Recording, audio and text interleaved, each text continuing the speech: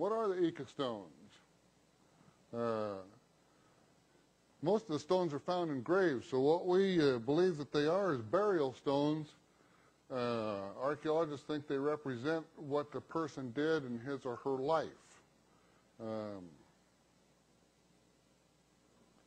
they've been found mostly in Peru, but uh, many have been found in as far uh, north as southern Mexico.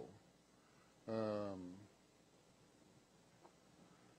over here is uh, this is the area right in here where the majority of them have been found. Uh, this is the Atacama Desert. It's the driest desert in the world. Uh, they get approximately a half an inch of rain every 50 years.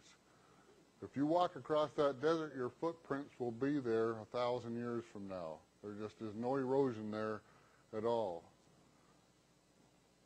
Uh, most of the experts say that uh, Ica stone started with uh, Javier Cabrera in the early 1900s. But actually the first Ica stones were mentioned by the Spanish priests in 1535. That's a long time ago. In 1571 they were written about by explorers in Peru. Uh, some of the stones were sent back to Spain in the year 1562. So the Ica stones were, have been known about for 450, over 450 years. This is a picture of the Cabrera Museum in Peru that I got to visit. There are approximately 11,000 stones in this museum depicting very, uh, all just varied things. Their authenticity has been questioned because it's believed by the experts that dinosaurs and man uh, did not exist together. Uh, National Geographic says no man has ever seen a dinosaur. Uh, Carl Sagan wrote in his book that these people knew what these dinosaurs looked like uh, because it was imprinted on our DNA and our minds um, when we were mammals crawling up out of the sea and turning into humans. That's actually in his book. Read it.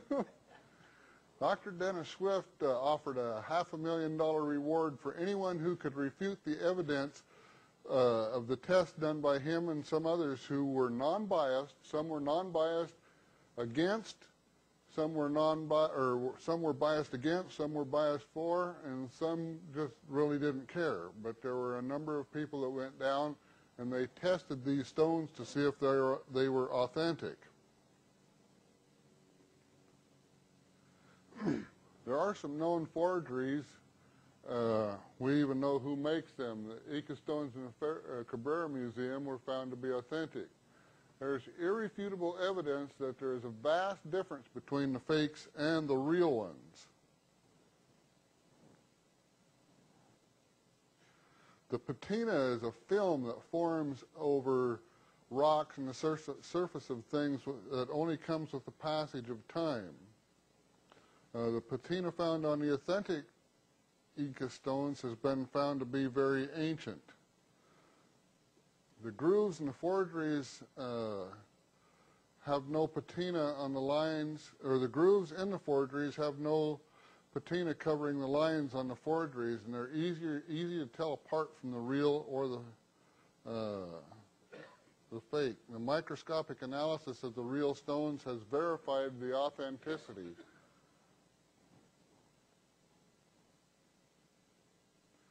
Uh, forgeries would have had marks, swirl marks made by a Dremel or a dental tool if they were if they were made uh, with one of those. We have no idea what they were made by. Uh, their metal flakes uh, would be left if they were made by hacksaw blades. It's uh, uh, one of the forgers uses hacksaw blades to carve the the stones. Uh, there are many fakes that have been brought into the United States.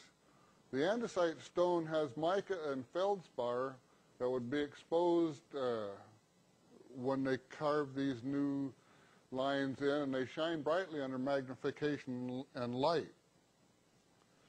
Um, The grooves and the forgeries are very bright white in color.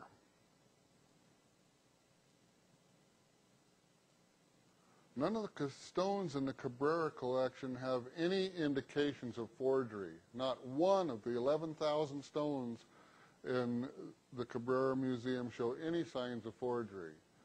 They have been shown to be authentic by scientific investigation. The authorities say it is impossible to create fake patina that can't be easily uh, detected. The Cabrera stones and some of the others in the other museums down there are very real. This is some of the 11,000 stones uh, in Ica, Peru. That, uh, that lady is a Peruvian lady. Her name is Mama Rosa. She runs a, um, kind of a goodwill thing down there. Uh, when we were down there two years ago, um, her and her husband and her son accepted the Lord. We started a little church of three people. By Christmas, it grew to 83. By a year later, it was over 2,000 Christians because of uh, her. That other lady there with the white hair, that's Dennis Swift's wife, Sharon. The stones uh, are ancient and depict many astonishing things about the ancient peoples. Um, here it appears that they're doing some ancient surgeries, brain surgery, uh, men and dinosaurs together. They're called Ica stones, uh, but it's not known for certain who the people were who made the stones. They're called Ica stones mostly because most of them are around, found around Ica, Peru. And some of the pictures on the stones are of the same culture that made the Nazca lines uh, in the Nazcan Desert. Anybody heard about the Nazca lines in the desert? All the big pictures and everything. It's really cool down there. I got the privilege of flying over them and photographing a number of them. Uh, it was really awesome to fly over that. They don't let you fly over some of them during certain times of the day because has everybody heard of the astronaut, the little man who's pointing to the stars? Well, if you fly over that early in the morning or late in the evening, it's not an astronaut. It's a fisherman holding a stringer of three fish, and it shows up plain as day.